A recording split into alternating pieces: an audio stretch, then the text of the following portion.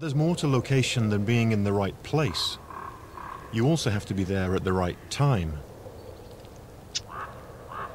Winter seems like the worst possible season for a bird to build a nest.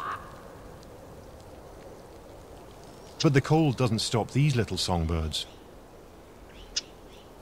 Grey jays maintain their territories all year round in the northernmost forests of North America. And they breed in the dead of winter. Here in Canada's Algonquin Provincial Park, a pair of jays is working together on their nest.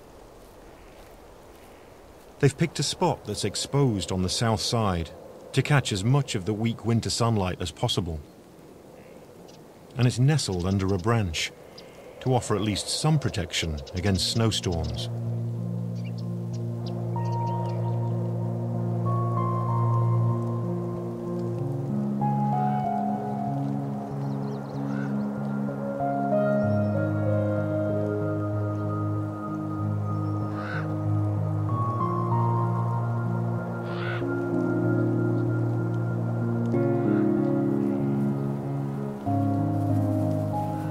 It's the female's job to incubate the eggs. She sits in the nest without a break for nearly three frigid weeks,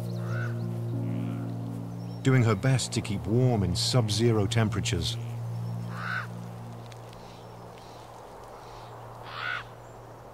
It's up to her mate to keep her well fed.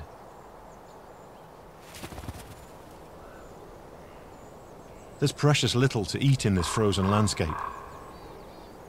Unless you plan ahead.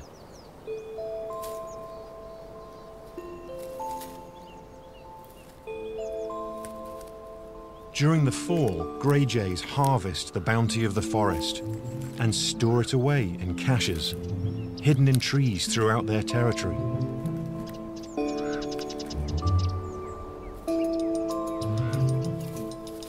Bugs and berries and bits of meat are tucked under flakes of bark.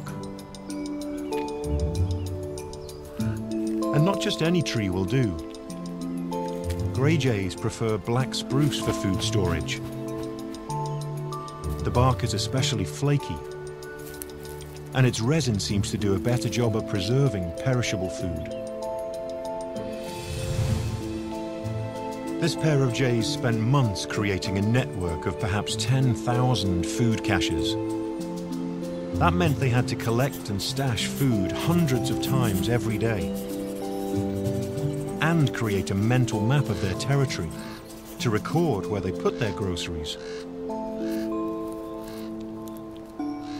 Their memories are phenomenal. They manage to retrieve as much as 80% of the food they hide.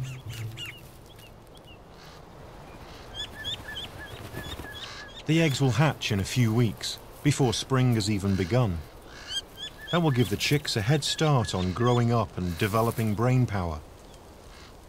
They'll need it when fall rolls around, so they can find and store food, and remember where they put it all.